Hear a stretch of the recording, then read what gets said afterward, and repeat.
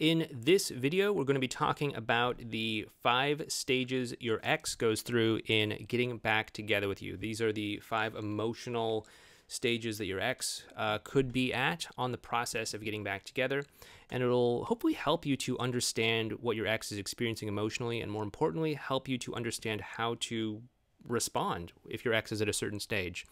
Uh, but first, my name is Clay with Modern Love Life, where we help you get the great loving relationship that you're looking for without having to play mind games, without having to play hard to get, and without having to pretend to be someone or something that you are not. If you like what we're doing here, please do me a favor by giving this video a thumbs up and by subscribing to this YouTube channel if you're not already subscribed. It does help us out. It helps to tell YouTube that, like, hey, this is good stuff and you should show more of Clay's videos to people out there. Um, seriously, though, it does help us out. Um, also, if you are interested in in kind of learning more about how to navigate this whole journey through your X's five emotional stages, I want you to know that we do have a course called the Ex Solution Program. I'll put a link to that down below in the description box for this video. Not going to hard sell you on it here, but um, it, it's right there if you want to check it out. Um, all right, so so I've made videos on the five stages your ex goes through before in the past, and they've done really well. However, I just want to make this video uh, to to kind of simplify it a little bit. Uh, like like the the one in the past that's done pretty well has like this big question and answer thing tacked on to the end that actually has nothing to do with the five stages, and kind of like because of that, a lot of people like click off of the video, uh, which doesn't really help us so well with YouTube. Um, so I'm just going to make this without the question and answer at the end. So uh, basically, if you're to think about this, your ex goes on a certain journey emotionally um, following a breakup. And we've kind of isolated five specific emotional stages that your ex could potentially be in following a breakup um, and on the journey towards getting back together with you. Now, it's important to know that it's not like your ex always starts at the first stage and then kind of moves forward from there. Um, a breakup happens and it kind of like pushes your ex back a certain degree in uh, in the in the in the scale from you know one to five, and kind of depending on what happened in the breakup, depending on how your ex uh, responded to things, like depending on how intense it was, like it was it just an amicable amicable breakup, or was it like a like I hate your guts, you cheated on me kind of breakup, or something like that. That's going to set the stage totally differently. But if I had to guess, probably most people initially start a breakup at riding the dragon, which is the third middle stage. Uh, we'll get into this more a little bit later, but uh, kind of based off of things that people do immediately after the breakup, like you know begging and pleading, promising up and down that things are going to be different, and so on, um, they might actually end up backsliding even further, maybe more into like test drive or wall of reactance. Don't worry, we'll get into all of this uh, later on. So if you have no idea what any of these terms are, uh, I'll explain that soon. But just for simplicity's sake, we're going to start at the very far end of the spectrum, which is the wall of reactance. Okay, this is the first stage that your ex uh, might be in. This is honestly the probably one of the hardest stages to be in because your ex is probably not very communicative with you.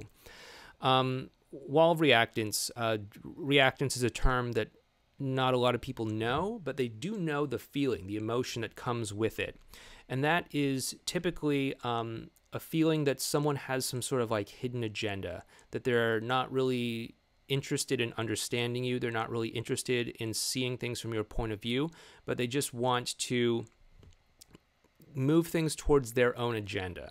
And for better or worse, if your ex thinks that you have some sort of agenda of trying to get back together with them that is more important to you than listening to them, understanding them, connecting with them, and so on and so forth, your ex may have a very heightened level of reactance.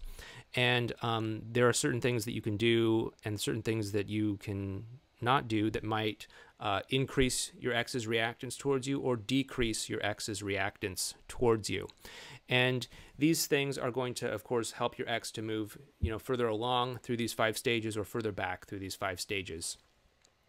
But if you're finding yourself at the wall of reactance, your ex has very, very high levels of reactance towards you. Uh, in fact, they could be so high that your ex has just decided, like, hey, I don't want to talk to you. I don't want to interact with you at all. Um, I'm just going to shut you out. I'm going to ignore you. I'm not going to uh, speak to you. I'm going to not reply to your messages. Or if I do, it's just going to be to lash out at you. It's going to be to say, like, hey, stop talking to me. Like, there's no chance for us to ever get back together. Leave me alone, or something like that, right? Um, honestly, it, it, it sucks to be at this stage, to have your ex at this stage in the in the journey. Um, so what do you do, right? Because it's like, okay, we can't really communicate. What can you actually do to kind of lower that reactance just enough so that your ex is open to talking to you again and open to communicating to you again? And what you want to do is you want to show your ex that you understand what they're experiencing. You want to show them that you get how they're feeling. You want to show them that um, maybe the things that you've done in the past, or the things that you did that hurt them, or the things that you did that maybe even led to the breakup in the first place, or maybe the things that you did after the breakup that made things worse, um, that you understand how all of that affected them.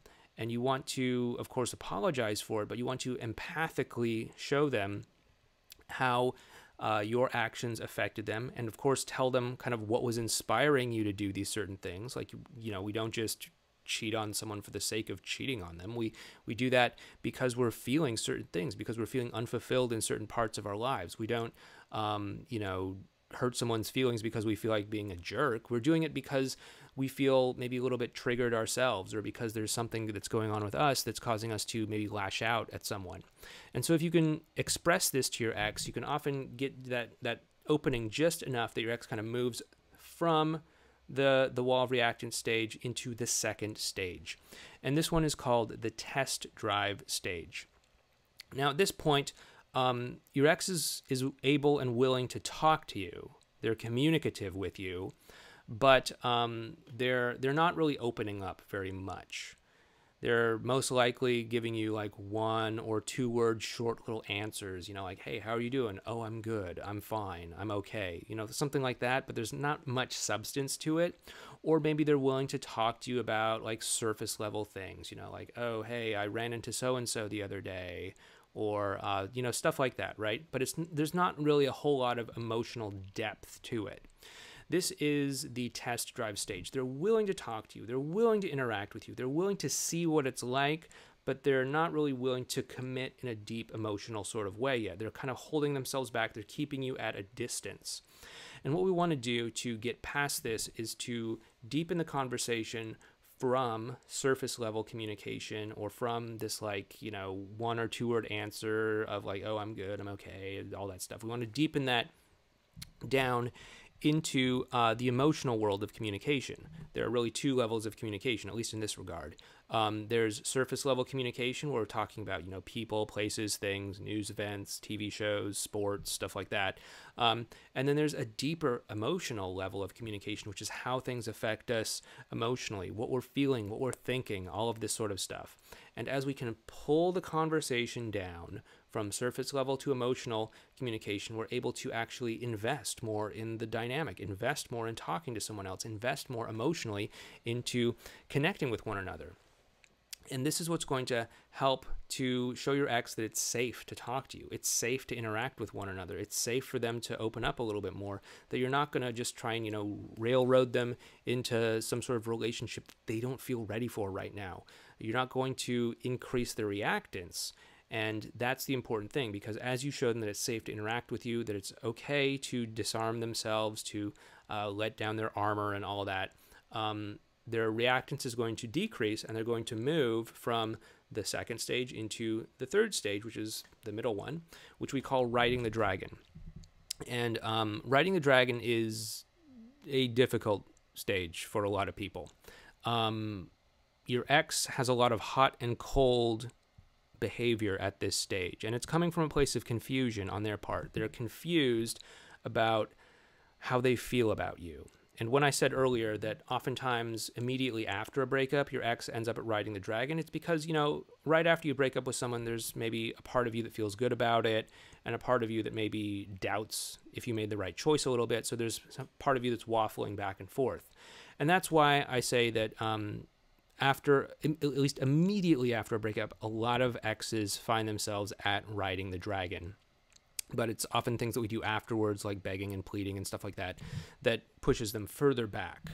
Um, but anyway, you will probably at some point need to experience the riding the dragon stage, unfortunately. And this can be tough um, because you are going to get these hot and cold behaviors from your ex. They might be warm towards you at certain points in time, which is great. You know, it feels good to have them tell you, I miss you. I think we made a mistake in breaking up. Um, I, I, I, just, I just miss talking to you. I, you know, I, maybe I want to do something physical with you. I don't know. Um, but it also sucks to have the cold side of that where maybe they're saying like, oh, I, I, I, I don't think that, that we should actually be friends anymore. Like I, I don't know why I said that I missed you the other day. Like we should, we should just totally not talk to each other anymore or something like that.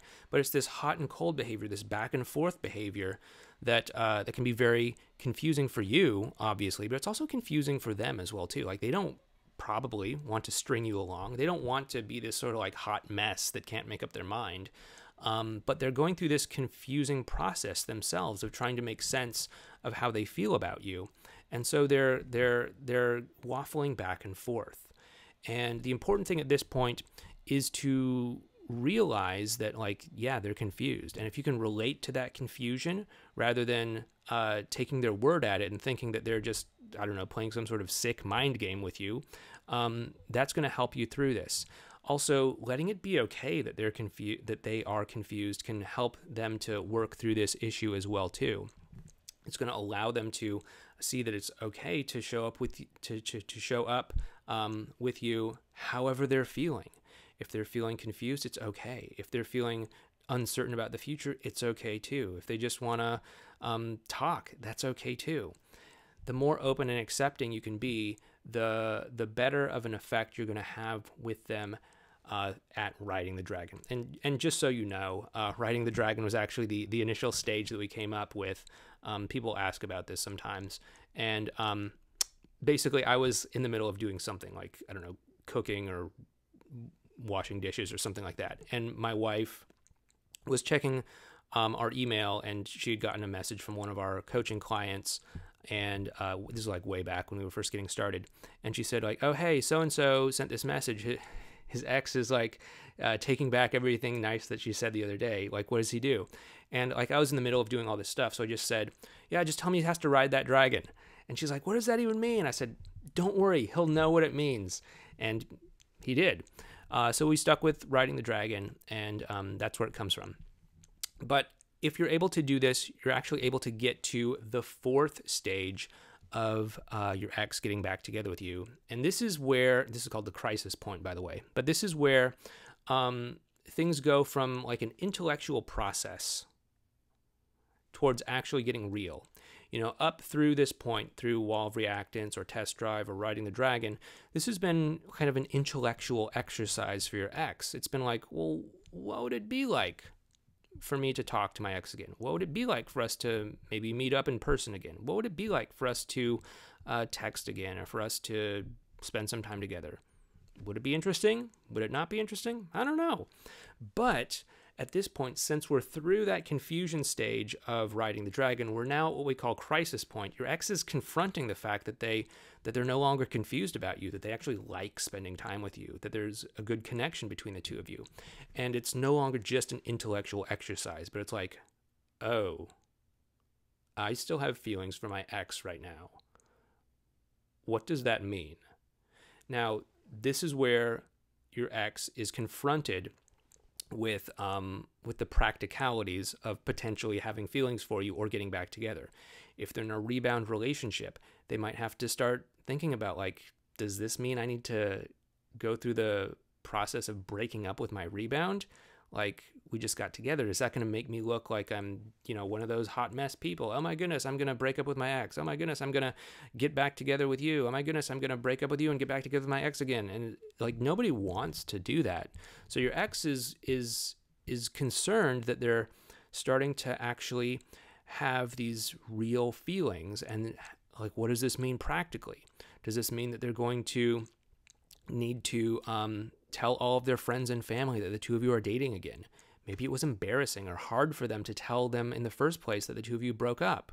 And now they want to make sure that this is real before they go through the process of saying, like, hey, actually, we're kind of working through some of this stuff. Um, and so this is this is the issue of the crisis point. Your ex is at this crisis. Your ex is at this crisis of this is becoming something real. What does that mean? And so, because your ex is at this crisis point, they may do certain things to actively discourage you from um, connecting with them or being with them. Now, this is very different from when they're just like totally pissed off at you, maybe a wall of reactance or something. Uh, but they're actually discouraging you, saying things like, you know, you could do better than me. Um, you're so attractive. Like tons of people would want to date you. Um, or we should see other people, or, you know, things like that. Because they're kind of like up against a hard spot here. It's like, what do I do? I have feelings for my ex, but I'm in this rebound relationship. Or what do I do? Uh, we just moved out, and now I think I still love you and I want to get back together with you. What do I do? I just told all my friends and family that we're broken up, and now I think we might be getting back together, and it's going to be really weird for me to go back and tell them. They're going to want to make sure that this is the real deal before they make that step. So they're going to kind of test you a little bit not necessarily intentionally testing you like there's some sort of evil Machiavellian supervillain or something, but more like they're just kind of giving you an out if you're not serious about this. If you're not serious about this, and they say, well, you know, I think you could do better than me, and you say, I think I could too. See ya. Then they're like, that's great. I didn't have to risk embarrassing myself by ending my rebound relationship for someone who wasn't serious in the first place. I didn't have to risk embarrassing myself by telling all my friends and family that we were seeing each other again when this guy wasn't serious in the first place, right? And so um, your ex is going to try and relieve that pressure through uh, the crisis point. And what you want to do is you want to not let them relieve that pressure. Uh, what you want to do is you want to let them know that you actually are serious about the two of you working things out. You actually care about them. You actually want to um, to be close to them. This is where all that stuff that you're not supposed to do can actually work.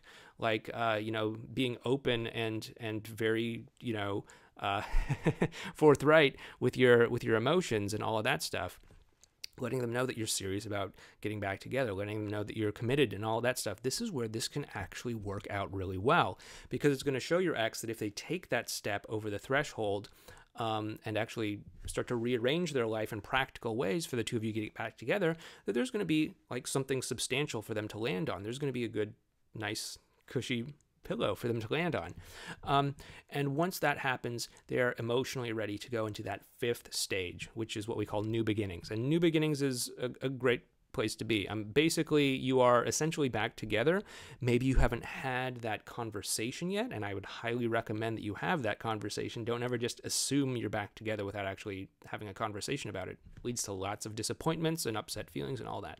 Um, but but at new beginnings, now is the time where you're essentially on great terms emotionally. There are no more practical obstacles keeping the two of you apart.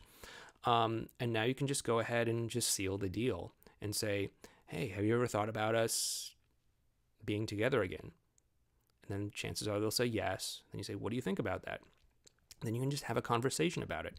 If there's any concerns that they have, like, oh, I'm worried that it might end up being like it was before and we're going to end up fighting again or things might get weird again or whatever, talk about it and co create some sort of strategies for making sure that things don't go that way in the future, for making sure that you create a new beginning together that's not just kind of reviving the old relationship, but it's a completely new dynamic that works better than, than whatever clearly didn't work in the past. And if you're able to do this, you'll be able to create a new dynamic, a new relationship, something that both of you can feel excited about, and you'll be able to do it together. Uh, it's not just a matter of you know you kind of like begging and pleading and saying like, "Hey, please take me back," but it's actually both of you co-creating something together that works great for both of you. And then of course, when you're back together, you know, keep the relationship strong. That's a whole conversation for another video. But um, anyway, this has been our our video on the five stages your ex goes through emotionally. Once again, if you do want to learn some of the practicalities about how to apply this, how to navigate all of this, we do have our Ex Solution Program course. Info on that is down in the description box below this video. But once again, I hope you've enjoyed this video. If you did, please do me a favor, hit that thumbs up button. It really does help us out. And subscribe to this channel if you haven't already. You may also want to check out this video playlist that goes into the five stages in much more detail, or you might want to check out this video over here. But once again, my name is Clay. Thanks so much for watching this video, and I'll talk to you next time. Take care.